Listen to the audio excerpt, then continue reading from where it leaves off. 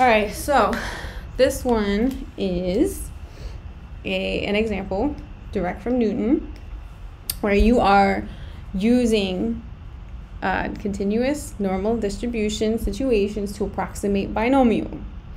Um, in Knewton, sometimes it's hard to determine when you're doing the binomial stuff versus like the regular normal CDF or inverse norm. And Knewton sometimes, I'm going to be straight up, their explanation is ugly. And this is how they explain this process. So I'm going to explain it my way and compare it to what they wrote here so that you can see that it's the same thing.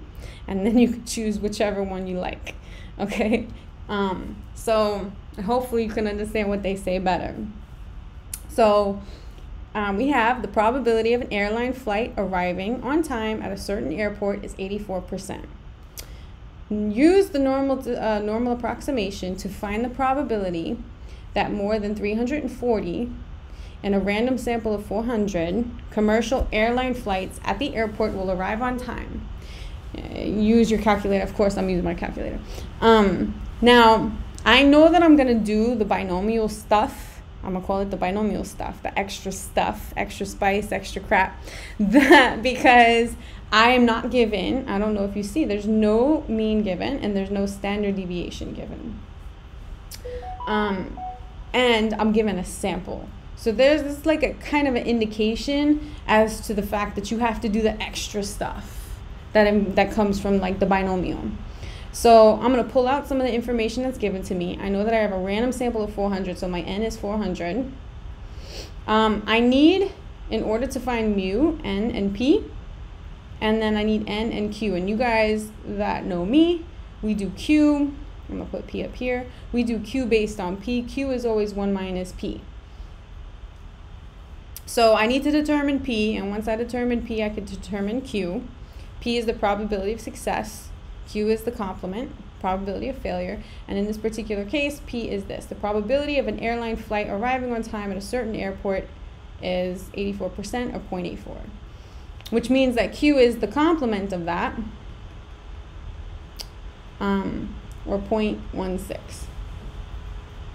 Now, before I even find the mean and standard deviation, I pulled out all the stuff I need right now.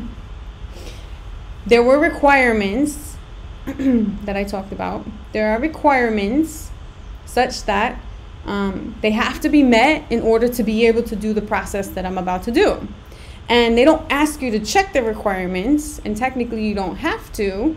However they show it in the steps here so just to show you so you're not confused you have to have these requirements met in order to do the process. You have to have it met.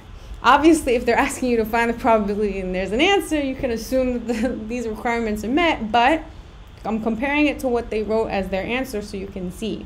So you have to you have to determine whether np is greater than or equal to 5 and q is greater than or equal to 5. So we'll do that. n is 400. p was 0.84. And I hope you could determine, looking at, that, you know, 400 times 0.84 is definitely bigger than 5. So this part is met, which is cool. And then n is uh, 400 again, and q is 0.16.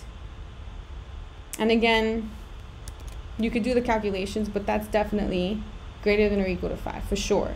So comparing it to what they wrote here, okay, so you can see at least the first part. They determined, they defined their n, they defined their p, put it in decimal form, and then they said np, showing their work, 400 times 0.84 was 336 and then n times 1 minus p. So instead of saying n times q, they said n times 1 minus p, which is the same thing as saying n times q. I just did my q up here and pulled that value in. Here they're just plugging it all directly in, which is annoying. 400 times 0.16, 64. And they're both greater than 5. Yay! So the first part is met. That's which means that the normal distribution can be used to approximate the binomial. Yay! So that part is met. Okay? That's what all that initial stuff is saying. Um before I talk about the rest of it, I like to determine my mean and standard deviation first because I need that when I do normal CDF or inverse norm, depending on what they're asking me for. So I'm going to do that first. And I, uh, what, n times p, 400 times p, which is 0.84, which was 336. Um, and then, oops, let me fix my standard deviation. It's not n times q. My standard deviation is n pq under the square root. Okay? So 400, hopefully I have space. 400 times 0.84 times 0.16 under the square root. I don't know what that is. And actually, I'm going to compare it to what they have here. You see this part? 400 times 0.84 times, that's the standard deviation. I have no idea what it is. Let's find it. Um, so second x squared to get the square root, 400 times 0.84. That's not what that is. And then times 0.16. So I have 7 point, I'm going to take a bunch of these digits because I'm going to use it for calculations. So I'm going to take 7.33 212. Let me take a bunch of them. And maybe just one.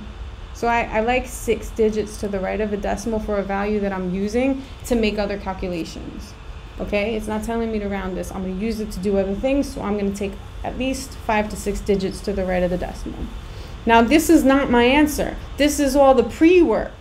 This is me, you know, pre stuff, like all the first stuff. It's not the answer. I didn't even get to the answer yet. This is all the stuff I need to get to the answer. All the annoying intro stuff that I have to do when I deal with the binomial.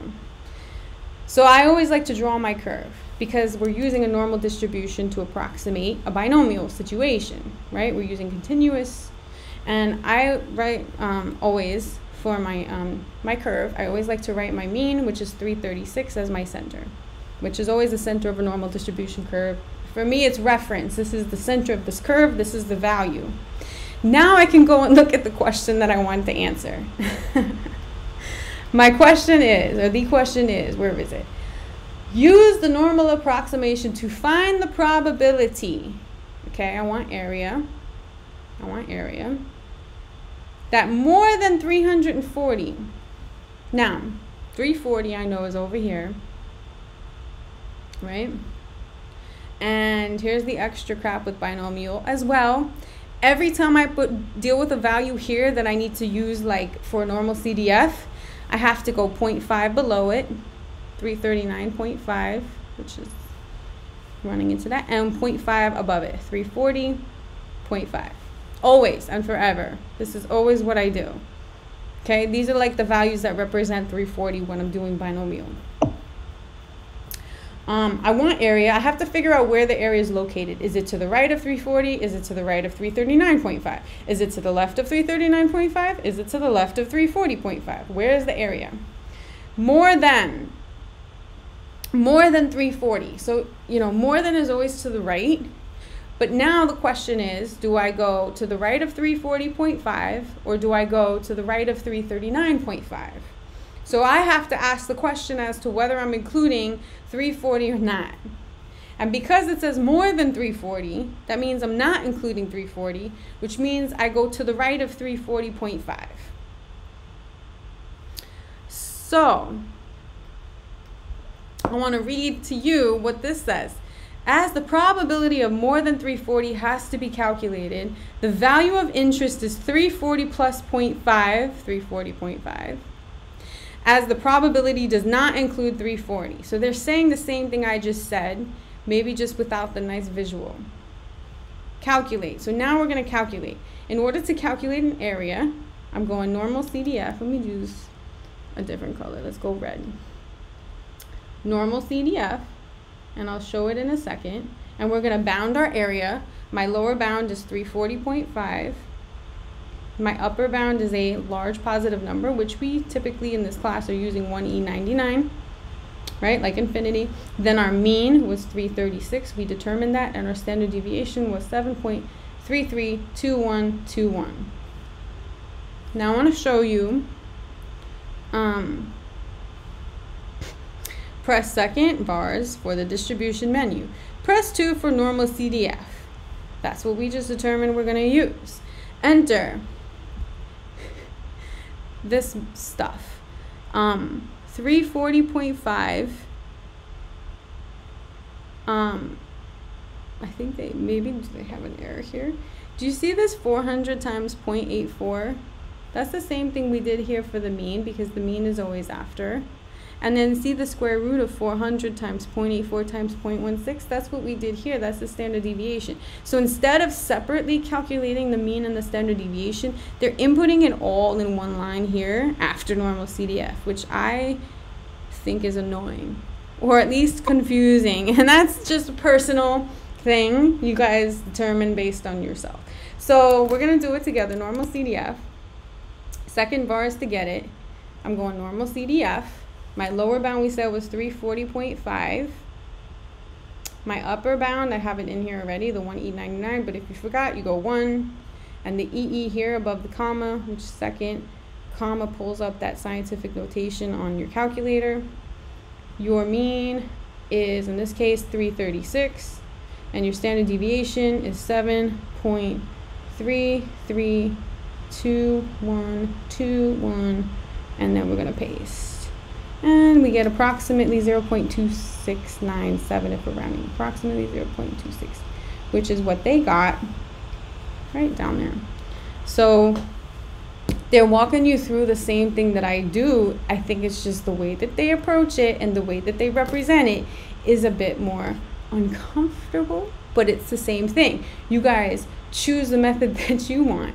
Okay? I know that it's binomial, that, that I have to do this extra stuff. P, Q, this, or all this, all this. I have to do all this extra, you know, subtract 0.5. I have, I have to do all that extra nonsense, that extra stuff, not man, but that extra stuff when I'm using, you know, my normal approximation for binomial cases, which I can determine um, when they give me a sample size and when they don't give me a mean and a standard deviation.